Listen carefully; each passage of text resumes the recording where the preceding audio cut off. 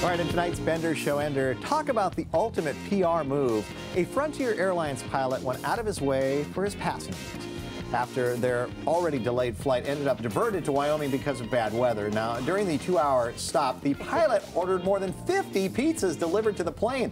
Take it from a news person. Uh, nothing puts a smile on your face like free pizza. Trust me, the newsroom knows that. The flight finally arrived in Denver about five hours late compared to the pizzas that got there in 30 minutes or less.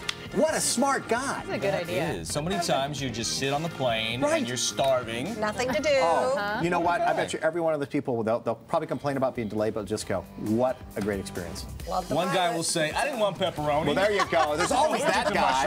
mushrooms.